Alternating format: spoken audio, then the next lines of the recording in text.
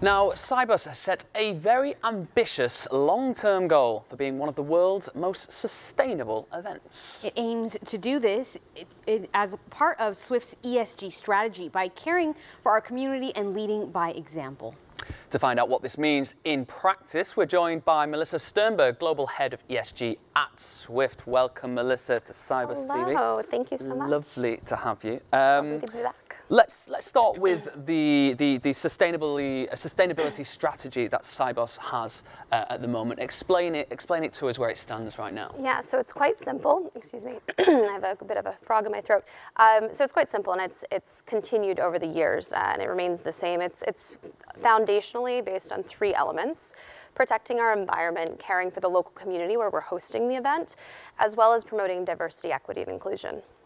And so, you know, Sibos is committed to reducing its environmental impact. So, can you talk a little bit about what concrete actions? What sure. does that look like? I think it's important to talk about the concrete actions because that's where it really lands for people, and then they know what we're doing and what they can do to contribute.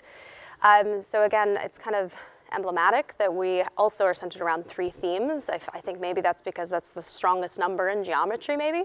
Um, but there's three core themes. One is linked to the food choices. The second is linked to how we build the actual event because it's a lot of materials. And then the third is the, the transportation on the ground. So I'll kind of build out on that. The first piece is the food choices, and it's really important because we have over 6,000 people here. Um, we're feeding a lot of people throughout the day. So 80% of the food choices are locally sourced, which is fantastic. It redu reduces the amount of shipping. Um, the second piece of that is eliminating waste as much as possible. So let's feed the amount of people that are here and, and reduce. Uh, so our goal is to have limit limitations down to 10% of waste. So make sure you get to the cafes and get the food early or we may run out. I hope not. Um, and the experience too. So I don't know if you've had the opportunity to walk into the, the cafe where you can pick up from the food stands, but we've provided vegetarian options, which we all recognize has lower emissions than meat, meat choices. And an element that I really liked, and I think it's emblematic of the financial industry, they care a lot about numbers, right, which is key to running their businesses effectively. Um, you can see on the boards how much emissions you're saving by choosing a veggie option. So I chose the veggie option and uh, my emissions were reduced threefold. So if I had chosen the meat option, the emissions would have been 300% more. And I will say, say, it absolutely was delicious. And I would choose it again. I chose it again today, and I'll probably be eating it the rest of the week.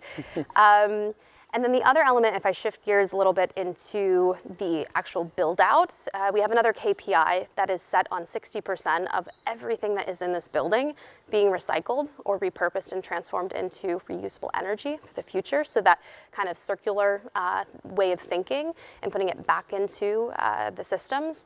And then the other element is making sure we, we understand the raw materials are very, very rare and important that we take care of it.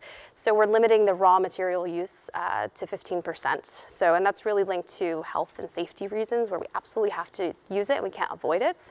Uh, so that's the second theme. The third theme is really linked to uh, transportation. So I don't want to avoid the, the elephant in the room that you know, about 6,000 people, maybe a little less, traveled to Sibos. Um, I think it's super important that we get together on an annual basis to bring the brightest minds together, to talk about some of the really big challenges in the industry. Um, and I've had great conversations uh, across, you know, the FCC, CBDCs, um, how we're solving some of these really uh, difficult interconnectivity issues. Um, so I think it's important to bring the industry together for really high impact events. So that's not avoidable, right?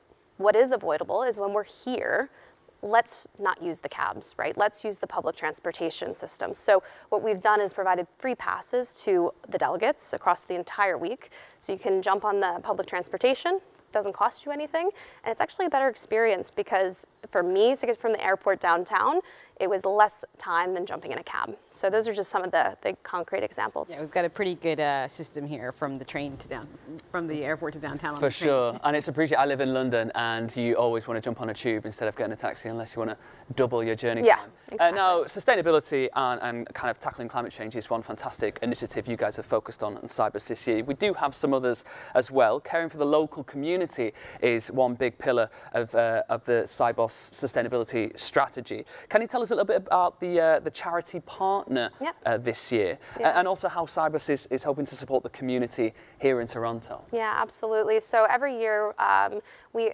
like to donate to a local uh, philanthropic good cause. So this year we're donating to uh, SickKids Foundation. Uh, they're actually located in the sustainability village that we've built. Uh, so go check that out. It's in the escalate, like right before you go down to the main ex- exhibition uh, and have a conversation with them. They're doing some amazing work. They, I visited them the other day and they shared that 70% of uh, mental and neurological uh, challenges actually are discovered in childhood. So what they're doing is they're working to create funding for the research to be more proactive and innovative. So a lot of the similar things that we do within finance and investing in our futures, we're investing in our, our, our young kids so that they can come in and, and uh, be a productive uh, citizen of the society and all the good work that we're doing. So definitely go and visit them. We're donating 20,000 uh, Canadian dollars. Um, you know, and I would love to see some more donations. So I would encourage you guys to go down and check them out. Uh, so obviously Swift taking the lead here on, on these ESG initiatives, but how are you also encouraging exhibitors uh, and participants to lead to change? What can they do? Yeah, so we have, again, another new initiative. Uh, and I first, before I forget, I want to thank the Sibos team and the individuals who made this happen. So I get the opportunity to speak about it, but there were incredible individuals, Stephanie being one on the Sibos team, that brought it all to life. Um, so this year is another new initiative. There's a sustainability pledge that you can go into your app, and I encourage everyone, I want to challenge everyone right now to go in your app. It takes two seconds. Go to more underneath the sustainability section, sign up for the pledge. You're committing to five simple actions. And I think, you know, across 6,000 people, that creates big change, and we can see that ripple effect throughout the industry. Uh, we have a target of 60% uh, participants across both exhibitors and participants, so make sure that you go check that out. You heard it here uh, first, guys. Do check that out. Wait until the end of the show, but then check that out immediately. Uh, last but not least, how are you guys promoting diversity, equality, and inclusion this Yeah. year in Toronto? So I think this is a space where we've been focusing on for several years, right? Um, we're really proud to have 50% gender um, diversity on the, the panels across the entire event this year. Um, the second element is the STAR program. So I think you guys are going to talk with some of the stars and kind of uh, experience what they're going through in this week. And that program continues to build. We had the largest class this year.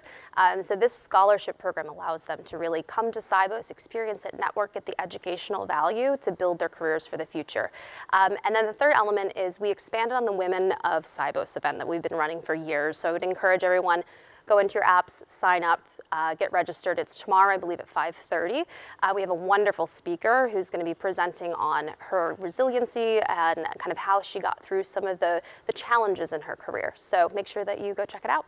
Awesome. Uh, Melissa, just such important work, and we've been seeing some of it firsthand as we walk through the conference. Yeah. And hopefully, uh, participants will also Yeah. commit to uh, being a part of that change. As you said, every little bit helps. Melissa Sternberg, Global Head of ESG at Swift, thanks so much for your time. Thank you so much. Appreciate it.